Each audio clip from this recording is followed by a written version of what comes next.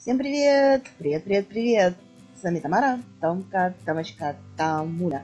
И добро пожаловать на мой кулинарный канал. Сегодня мы с вами приготовим сытный и одновременно не тяжелый для желудка салат.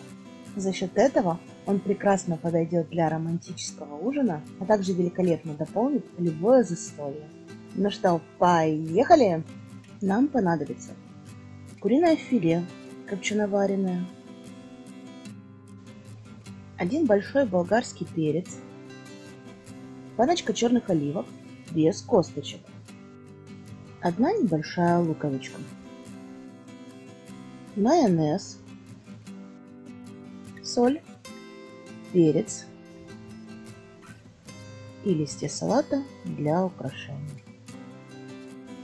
У меня филе копчено-вареное на косточке 433 грамма. После того, как я отделю мясо от косточек и очищу шкурку, останется 350 грамм.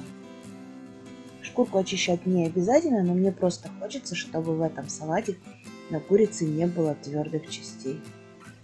Вообще ранее с перцем, луком и оливками я готовила салат с обычным отваренным куриным филе, но сегодня у меня под рукой оказалась именно копченая и мы с мамой решили, почему бы не провести кулинарный эксперимент. И забегая наперед, эксперимент превзошел все ожидания.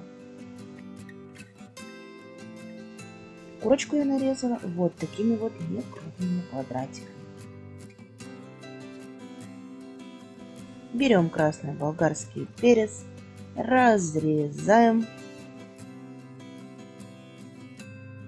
и очищаем его от семян и перегородок. После этого приступаем к нарезке на небольшие кубики.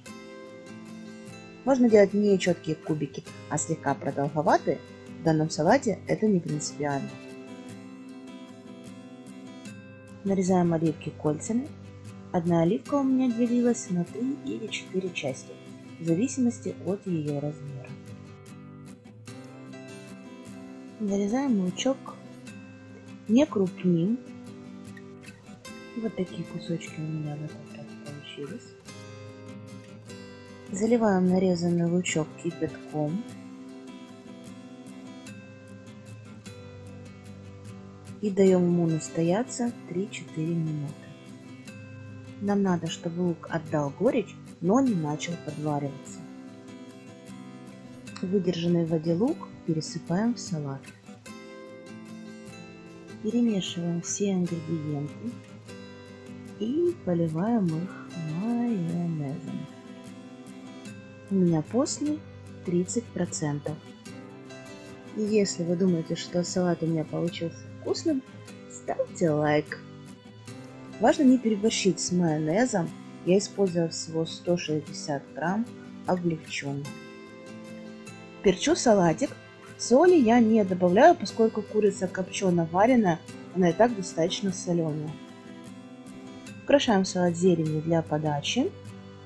Зелень может служить не только украшением, она отлично сочетается с ингредиентами.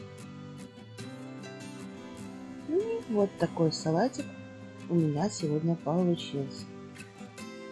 Надеюсь, вам понравился этот рецепт, вы нажмете кнопочку подписки и колокольчик, чтобы не пропустить новые видео. Пока-пока!